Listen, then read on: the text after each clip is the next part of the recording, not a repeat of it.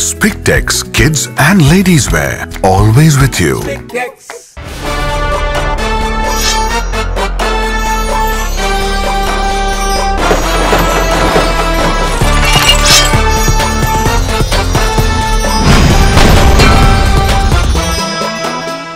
சகோதரிகளே என பெண்களை முன்னிலைப்படுத்தி தனது பேச்சை தொடங்கினார் அந்த இந்து மத பிரதிநிதி பிற சமய கொள்கைகளை வெறுக்காமல் மதித்தல் வேண்டும் அவற்றை எதிர்க்காமல் ஏற்றுக்கொள்ளும் பண்பு வேண்டும் எதையும் வெறுக்காமல் மதிக்க வேண்டும்.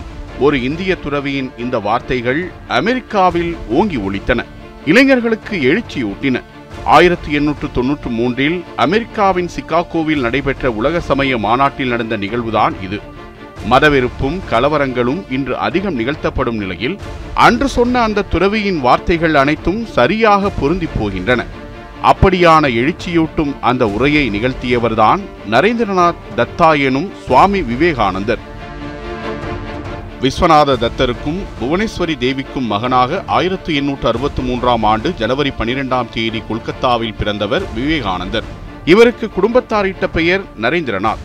காசியில் உறையும் விஸ்வநாதரையும் வீரேஸ்வரரையும் புவனேஸ்வரி தேவி தொடர்ந்து வேண்டி வந்ததன் பயனாக பிறந்தவர் நரேந்திரநாத். இவரது தாத்தா துர்காச்சரண் திருமணமான ஒரு சில ஆண்டுகளிலேயே துறவரம் பூண்டவர். நரேந்திரநாத்தின் அப்பா விஸ்வநாத தத்தருக்கு மூன்று வயது இருக்கும்போதே துர்காச்சரண் துறவியானார். நரேந்திரநாத் பிறந்தபோது அவர் துர்காச்சரணின் சாயலாகவே இருப்பதாக உறவினர்கள் கூறினார்கள். உறவினர்கள் மடியில் அமர்ந்தவாறு அவர்கள் பாடும் ஆன்மீக பாடல்களை கேட்டு வளர்ந்தவர் நரேந்திரநாத். குடும்பத்தில் நிலவிய ஆன்மீக சூழல் காரணமாக குழந்தை பருவத்திலேயே பக்தி ஸ்தோத்திர பாடல்களும் சமஸ்கிருத இலக்கண விதிகளும் இவருக்கு மனப்பாடமாகியிருந்தன. படிப்பில் அதிக ஆர்வம் கொண்ட நரேந்திரநாத் இளம் வயதிலேயே அறிவு கூர்மை கொண்டவராக விளங்கினார். இந்திய வரலாறு இந்து மத சாஸ்திர நூல்கள் இங்கிலாந்து உள்ளிட்ட மேற்கத்திய நாடுகளின் வரலாறு அந்நாடுகளின் தத்துவ நூல்கள் உட்பட பலவற்றை ஆழ்ந்து கற்றார். வரி வரியாக படிக்காமலேயே ஒரு புத்தகத்தின் முழு கருத்தையும் புரிந்து கொள்ளும் திறன் நரேந்திரநாத்துக்கு இயற்கையாகவே வாய்க்கப்பெற்றிருந்தது இதனை இவரது நண்பர்கள் மட்டுமின்றி அயல் நாட்டினரும் சோதித்து ஆச்சரியப்பட்டுள்ளனர். அறிவு கூர்மை மட்டுமின்றி தைரியம் தன்னம்பிக்கை வாதத்திறமை கொண்டவராகவும் விளங்கியவர் நரேந்திரநாத். அதோடு உடலையும் மனதையும் திடமாக்கும் பயிற்சிகளிலும் மிகுந்த ஆர்வம் கொண்டவர். சிலம்பம் வால் பயிற்சி ட்ரபீஸ் எனப்படும் தேக பயிற்சி மல்யுத்தம் போன்றவற்றில் சிறந்து விளங்கியவர் அவர். மணிக்கணக்கில் ஆழ்ந்த தியானத்தில் ஈடுபடக்கூடியவர். மனதை நன்கு ஒருமுகப்படுத்தும் ஆற்றல் அவருக்கு இயற்கையாக இருந்தது. சிறு வயதில் தனது நண்பர்கள் சிலருடன் அறை ஒன்றினுள் தியானத்தில் ஈடுபட்டுக் கொண்டிருந்தார் நரேந்திரநாத். நெடுநேரமாக அவரை காணாததால் வீட்டினர் அவரை எல்லா இடங்களிலும் தேடினர். கடைசியாக மூடியிருந்த அறைக்கு வந்து கதவை தட்டிய போது கதவு திறக்கப்படவில்லை. உடைத்துக்கொண்டு உள்ளே சென்றபோது மற்ற சிறுவர்கள் அங்கிருந்து ஓடினார்கள். ஆனால் நரேந்திரநாத்துக்கு இவை எதுவும் தெரியவில்லை. ஆழ்ந்த தியானத்திலேயே அவர் இருந்தார். இறை அனுபூதி பெறுவதற்கு சிறந்த வழி தியானம்தான் என்பதை மற்றவர்கள் போதிக்காமலேயே உணர்ந்திருந்தவர் நரேந்திரநாத். பரவச நிலை என்பது அவரது வாழ்வில் பலமுறை நிகழ்ந்திருக்கிறது. மாநில கல்லூரியில் படித்துக் கொண்டிருந்த போதும் அதற்கு முன்பும் நவீன விஞ்ஞானத்தின் முறைகளையும் முடிவுகளையும் படித்து தெரிந்து வைத்திருந்தவர் நரேந்திரநாத். பகுத்தறிவுக்கு உட்பட்ட மேலைநாட்டு விஞ்ஞானமும் தத்துவமும் அரிமை கூர்மை மிகுந்த நரேந்திரநாத்தை மிகவும் கவர்ந்தன. அதனால் இளம் வயதில் உண்மை என்று ஏற்றுக்கொண்ட பல ஆன்மீக கருத்துக்களை தற்பொழுது உண்மையா அல்லது பொய்யா என்று கேள்வி கேட்கும் மனநிலை நரேந்திரநாத்துக்கு ஏற்பட்டது. இந்து மதத்தின் தத்துவங்கள் பலவற்றை விமர்சித்தும் மேலை நாட்டவர்களின் பக்தி முறைகளை பாராட்டியும் பிரம்ம சமாஜத்தினர் அன்றைய வங்கத்தில் செய்து வந்த பிரச்சாரம் நரேந்திரநாத்தை வெகுவாக ஈர்த்தது. அதனால் இந்துக்களின் உருவ வழிபாட்டையும் கடவுள் குறித்த கருத்துக்களையும் வெளிப்படையாக எதிர்க்கத் தொடங்கினார் நரேந்திரநாத் எனினும் அவருள் பொதிந்து கிடந்த ஆன்மீக உணர்வுகள் அவரை மேலும் சிந்திக்க தூண்டியது. ஆத்திகர்களால் கடவுள் என்று கூறப்படும் மெய்ப்பொருளை பற்றிய ஞானத்தை பெற்றுவிட துடித்த நரேந்திரநாத் இறைவனை நேருக்கு நேர் காண முடியுமா? இறை அனுபவத்தை பெறுவது சாத்தியமா என்ற கேள்விகளுடன் பல ஆன்மீக பெரியவர்களை சந்தித்தார். அவ்வாறு அவர் சந்தித்தவர்களில் முக்கியமான ஒருவர் பிரம்ம சமாஜத்தினரால் மிகவும் மதிக்கப்பட்ட தேவேந்திரநாத் தாகூர்.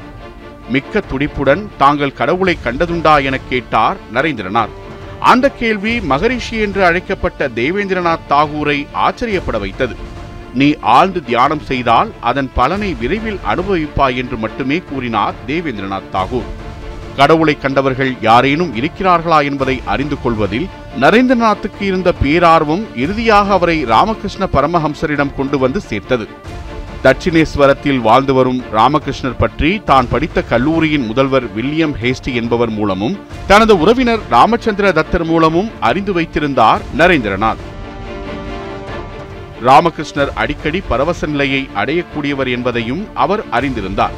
இந்நிலையில்தான் சுரேந்திரநாத் மித்ரா என்ற பக்தரின் வீட்டில் ஒரு விழா நடைபெற்றது. அதில் கலந்து கொள்ள ராமகிருஷ்ணர் வருகை தந்தார். நரேந்திரநாத் பக்தி பாடல்களை இனிமையாக பாடக்கூடியவர் என்பதால் அவரை விழாவிற்கு வந்து பாடும்படி சுரேந்திரநாத் மித்ரா அழைத்திருந்தார். அந்த விழாவில்தான் ராமகிருஷ்ணரை முதன் முதலாக சந்தித்தார் நரேந்திரநாத். நரேந்திரநாத்தின் பாடல்களை கேட்டு மகிழ்ந்த ராமகிருஷ்ணர் அவர் பற்றிய எல்லா செய்திகளையும் கேட்டு தெரிந்து கொண்டார். அதன்பின் நரேந்திரநாத்தின் அருகில் சென்று உற்று கவனித்த ராமகிருஷ்ணர் தட்சிணேஸ்வரம் வரும்படி அவரை அழைத்தார். ஆயிரத்தி எண்ணூற்று எண்பத்தோராம் ஆண்டின் நவம்பர் மாதத்தில் சுரேந்திரநாத் மித்ரா தட்சிணேஸ்வரம் சென்றார். அப்போது அவர் நரேந்திரநாத்தையும் உடன் அழைத்துச் சென்றார். நரேந்திரநாத்தை பார்த்ததும் மகிழ்ந்து போன ராமகிருஷ்ணர் பக்தி பாடல்களை பாடும்படி கூறினார். நரேந்திரநாத் பாடினார் பாடும்போதே பரவச நிலையை அடைந்தார் நரேந்திரநாத். அதன் பின் நரேந்திரநாத்தை ஒரு அறைக்கு கூட்டிச் சென்ற ராமகிருஷ்ணர் அறையை சாத்திக் கொண்டார். அந்த அறையில் என்ன நடந்தது என்பதை பின்னாளில் சுவாமி விவேகானந்தர் பதிவு செய்துள்ளார். அந்த பதிவு ஆச்சரியம் அளிக்கக்கூடியது. அவர் தனக்கு ஏதோ தனியாக உபதேசம் செய்ய போகிறார் என நினைத்த நரேந்திரநாத்திற்கு ஆச்சரியம் காத்திருந்தது. நரேந்திரநாத்தின் கைகளை பற்றி கொண்டு ஆனந்த கண்ணீர் வடித்தார் ராமகிருஷ்ணர். இவ்வளவு காலம் கழித்து வந்திருக்கிறாயே இது நியாயமா? நான் உனக்காக காத்திருக்கிறேன் என்பதை ஒருமுறையாவது நினைத்து பார்த்தாயா என்று கேள்விகளை எழுப்பிய ராமகிருஷ்ணர் உலக ஆசை பிடித்த மக்களின் பேச்சை கேட்டு கேட்டு தனது காதுகள் எரிந்து போய்விட்டது என்றும் தனது மனதில் பொங்கும் உள்ளுணர்வுகளை புரிந்து கொள்ளக்கூடிய ஒருவரிடம் சொல்ல தான் துடித்துக் கொண்டிருப்பதாகவும் தெரிவித்தார். அதோடு இரண்டு கைகளையும் கூப்பி தெய்வத்தை வணங்குவது போல் நரேந்திரநாத்தை வணங்கிய ராமகிருஷ்ணர் நாராயணனின் அவதாரமாகிய நரமுனிவர் தாங்கள் என்றும் மனித குலத்தின் துயத்துடைக்க அவதரித்தவர் தாங்கள் என்றும் கூறினார். வெண்ணெய் இனிப்பு கற்கண்டு முதலியவற்றை தன் கையாலேயே ஊட்டவும் துவங்கினார். மீண்டும் கைகளை பற்றி கொண்டு கூடிய விரைவில் நீ மட்டும் தனியாக இங்கு வருவதாக சத்தியம் செய் என்று வலியுறுத்தினார். அவருடைய உண்மையான வேண்டுகோளை மறுக்க முடியாமல் சரி வருகிறேன் என தெரிவித்தார் நரேந்திரநாத் எனினும் ராமகிருஷ்ணரின் பேச்சுக்களும் நடவடிக்கைகளும் நரேந்திரநாத்திற்கு வியப்பை ஏற்படுத்தின. ராமகிருஷ்ணர் ஒரு மனநோயாளியாக இருப்பாரோ என்ற சந்தேகத்தையும் அது ஏற்படுத்தியது. இதனால் அறையை விட்டு வெளியே வந்த பிறகு ராமகிருஷ்ணரின் பேச்சுக்களையும் நடவடிக்கைகளையும் கூர்ந்து கவனிக்கத் தொடங்கினார் நரேந்திரநாத். பைத்தியத்திற்கான சிறிய சாயல் கூட ராமகிருஷ்ணனிடம் தென்படவில்லை என்பதை உணர்ந்தார் நரேந்திரநாத். ராமகிருஷ்ணர் நிகழ்த்திய ஆன்மீக உரைகள் அவர் அடையும் பரவச நிலை அவர் ஒரு உண்மையான துறவி என்பதை நரேந்திரநாத்திற்கு வெளிச்சம் போட்டு காட்டியது. கடவுளை காண முடியும் கடவுளுடன் பேச முடியும். ஆனால் யார் கடவுளை பார்க்கவும் அவருடன் பேசவும் வேண்டும் என்கிறார்கள்? ஒருவன் இறைவனை காண வேண்டும் என்று உண்மையாக ஏங்கி இறைவனை அழைத்தால் அவர் தன்னை அவனுக்கு காட்டி அருள்கிறார் என்ற ராமகிருஷ்ணரின் பேச்சு சாதாரண சமய சொற்பொழிவாளரின் பேச்சாக நரேந்திரநாத்திற்கு தோன்றவில்லை. இறை அனுபவம் கிடைக்கப் பெற்றவர் என்றே ராமகிருஷ்ணரை நரேந்திரநாத் எண்ணினார். கொல்கத்தா திரும்பிய நரேந்திரநாத் ஒரு மாதம் கழித்து மீண்டும் தட்சணேஸ்வரம் சென்றார். அப்போது அவருக்கு மற்றொரு ஆச்சரியம் காத்திருந்தது. அந்த சந்திப்பின் போது ராமகிருஷ்ணர் தனது ஸ்பரிசத்தால் நரேந்திரநாத்தை நிலைக்குலையச் செய்தார். அந்த ஸ்பரிசம் தான் என்ற உணர்வு அழிந்து பிரபஞ்சம் முழுமையும் சூனியத்தில் ஒன்றிக் கலக்கும் அனுபவத்தை நரேந்திரநாத்திற்கு தந்தது. களிமண்ணை பிசைந்து விருப்பப்படி உருவம் அமைப்பது போன்று தனது மனதை ராமகிருஷ்ணர் மாற்றி அமைத்ததும் புரிந்தது. பதினைந்து நாட்கள் கழித்து மூன்றாவது முறையாக மீண்டும் தட்சிணேஸ்வரம் வந்தார் நரேந்திரநாத். கடந்த முறை ஏற்பட்ட அனுபவம் மீண்டும் ஏற்பட்டுவிடக் கூடாது என்பதில் இம்முறை உறுதியாக இருந்தார். காளி கோயிலின் பக்கத்தில் உள்ள யதுமல்லிக்கின் தோட்டத்தில் உழவுவதற்கு நரேந்திரநாத்தை அழைத்துச் சென்ற ராமகிருஷ்ணர் பரவச நிலையில் நரேந்திரநாத்தை ஸ்பரிசித்தார். அந்த தொடுதல் நரேந்திரநாத்தை உண்மையாகவே மெய்மறக்கச் செய்துவிட்டது. நரேந்திரநாத் யார்? எங்கிருந்து வந்தான்? எதற்காக அவன் பிறந்துள்ளான்? எவ்வளவு காலம் இவ்வுலகில் இருப்பான் போன்ற கேள்விகளை அவனிடம் கேட்டு தெரிந்து கொண்டதாக பிறகு கூறினார் ராமகிருஷ்ணர்.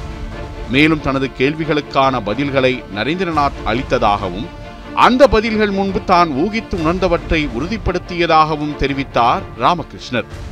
ராமகிருஷ்ணர் மீது நரேந்திரநாத் கொண்டிருந்த மதிப்பு இந்த சந்திப்பின் மூலம் மேலும் அதிகரித்தது.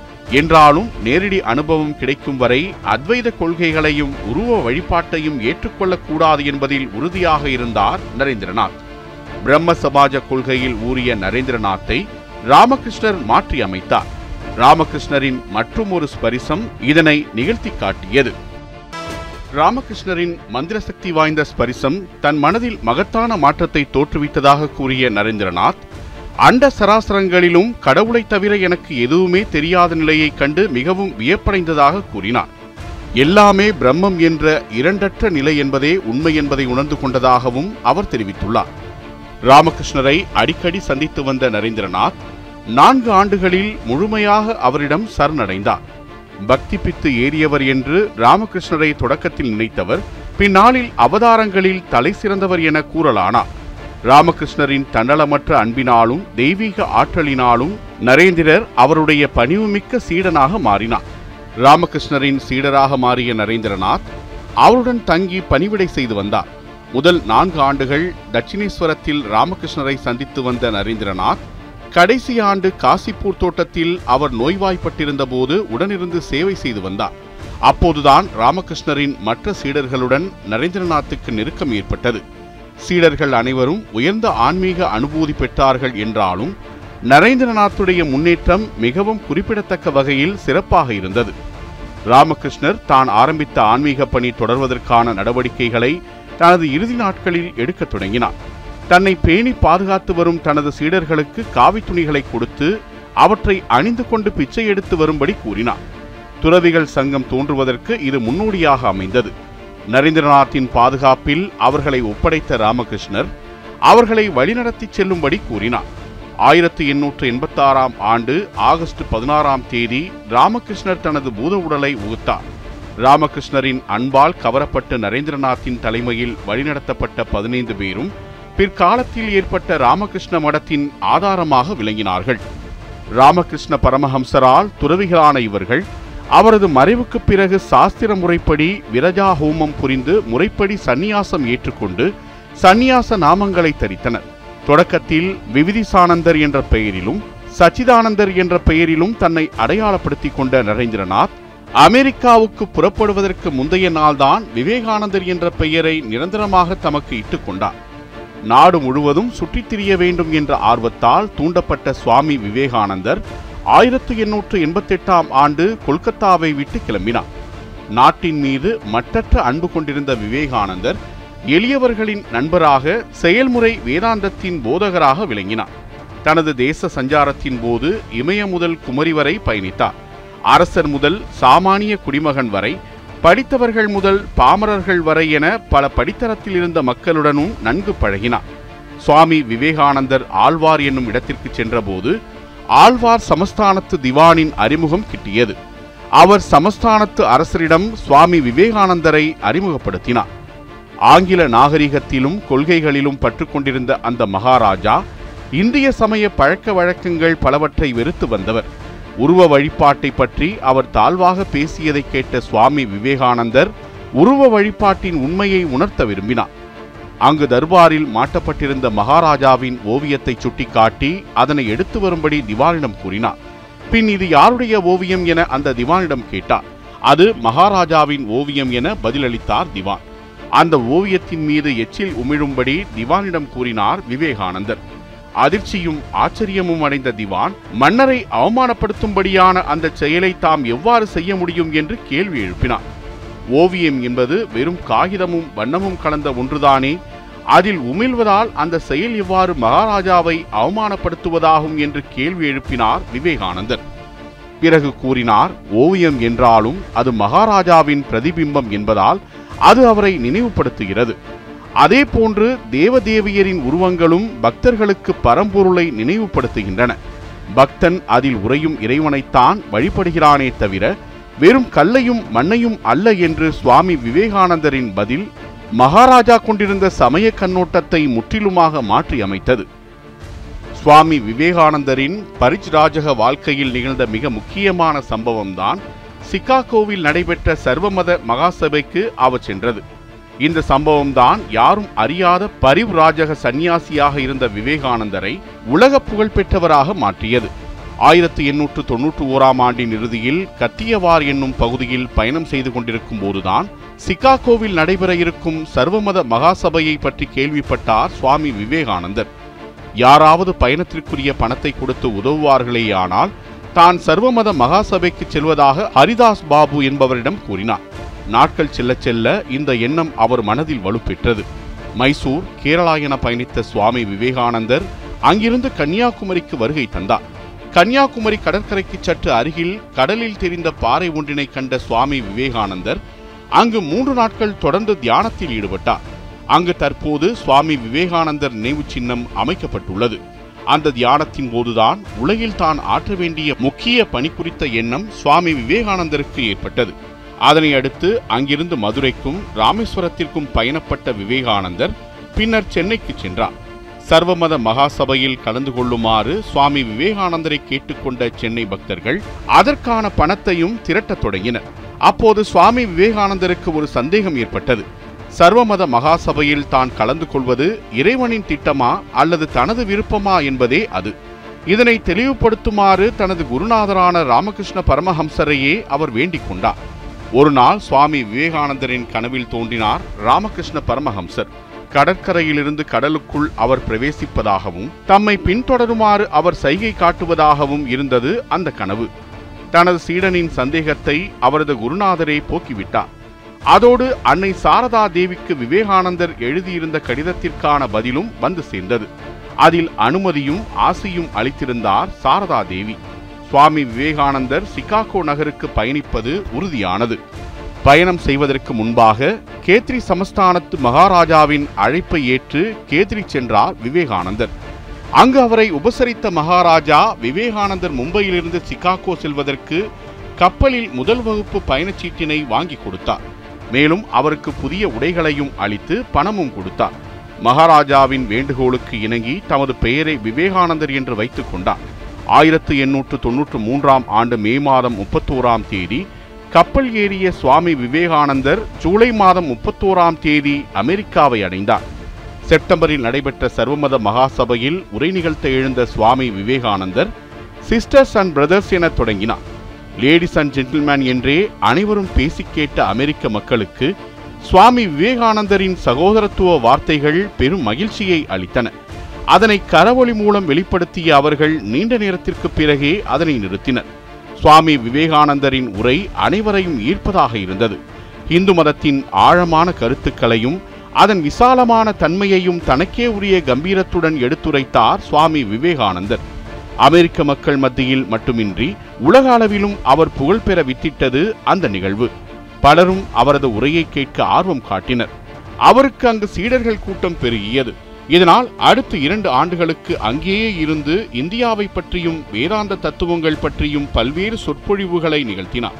இதற்காக அமெரிக்காவின் பல பகுதிகளுக்கும் அவர் பயணம் செய்தார்.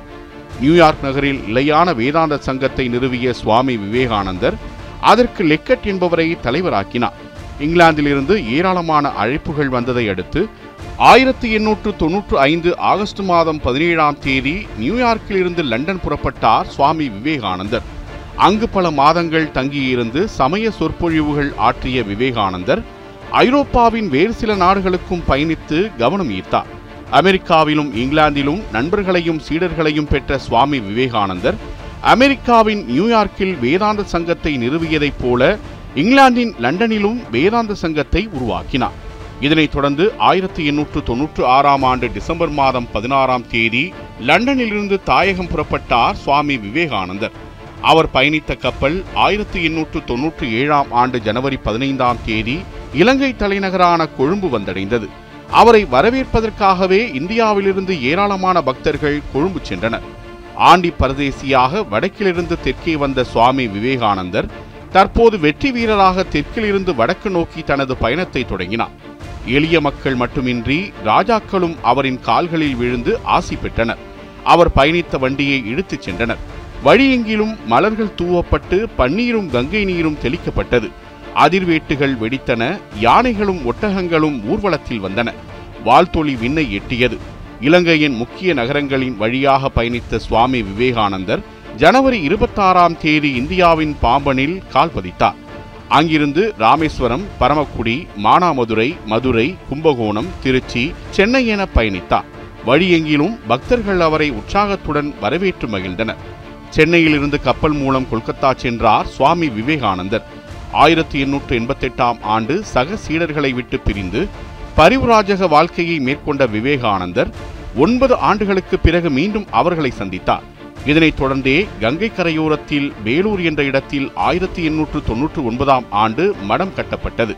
இதனை தனது குருநாதருக்கு அர்ப்பணித்த சுவாமி விவேகானந்தர் அவரது பெயரில் ராமகிருஷ்ண மடம் மற்றும் ராமகிருஷ்ண இயக்கம் ஆகியவற்றை தோற்றுவித்தார். இந்த இடத்திலிருந்து ராமகிருஷ்ணரின் உபதேசங்கள் உலகமெங்கும் பரவ வழி செய்தார்.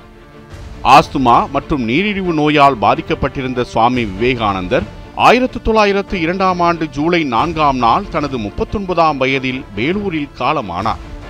ஒருமுறை பசுக்களை பாதுகாக்கும் குழுவைச் சேர்ந்த ஒரு ஆர்வலர் விவேகானந்தரை சந்தித்தபோது உங்கள் குழுவின் நோக்கம் என்ன? என்று அந்த ஆர்வலரிடம் வினவினார் விவேகானந்தர். கசாப்பு கடைக்காரர்களின் கைகளிலிருந்து நம் நாட்டின் பசுக்களை காப்பதே எங்களது குறிக்கோள். நோய்வாய்ப்பட்ட நலிந்த பசுக்கள் கசாப்பு கடைகளிலிருந்து மீட்கப்பட்ட பசுக்களை பாதுகாக்க கோசாலைகளையும் நிறுவியுள்ளோம் என்றார். நாடு முழுவதும் இருக்கும் பஞ்சகாலத்தில் உதவி செய்ய உங்களது சங்கம் ஏதாவது உதவி செய்திருக்கிறதா என்று அந்த ஆர்வலரிடம் கேட்டார் விவேகானந்தர். பஞ்சமோ அல்லது வேறு பிரச்சனைகளுக்கு நாங்கள் உதவுவதில்லை. பசுக்களை பாதுகாப்பதற்காக மட்டுமே இந்த சங்கம் நிறுவப்பட்டது என்றார் அந்த ஆர்வலர். இதனை கேட்ட விவேகானந்தர் நாட்டில் உங்களது சகோதரர்கள் பசியால் இறக்கும்போது அவர்களுக்கு உணவளிப்பதே உங்களது கடமை என உங்களுக்கு தோணவில்லையா? என்று விவேகானந்தரின் கண்களில் நெருப்பு தீப்பொறிகள் பறந்து கோபத்தில் முகம் சிவந்தது. மனிதர்கள் மீது இரக்கம் காட்டாத தங்கள் சொந்த சகோதரர்கள் பட்டினியால் சாவதைக் கண்டும் கூட அவர்களின் உயிரை காப்பாற்ற ஒரு பிடி சோறு கொடுக்காத இது போன்ற சங்கங்கள் பறவைகள் மற்றும் விலங்குகளை காப்பாற்றுவதன் மூலம் இந்த சமூகம் எந்த நன்மையையும் பெறப்போவது இல்லை. மனிதர்கள் தங்கள் கர்ம பலனாலேயே இறக்கின்றனர் என்று நீங்கள் கூறினால் பசுக்களும் தங்கள் சொந்த கர்ம பலனாலேயே கசாப்பு கடைக்காரர்களின் கைகளில் விழுந்து இறக்கின்றன என்று நான் கூறுவேன் என்று அந்த பசு பாதுகாப்பு ஆர்வலருக்கு பதிலடி கொடுத்தார் சுவாமி விவேகானந்தர்.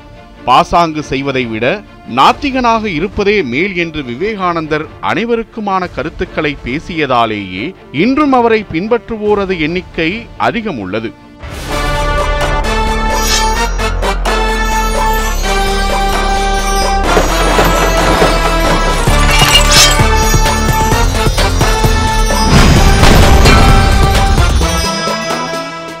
Spictex Kids and Ladies Wear. Always with you.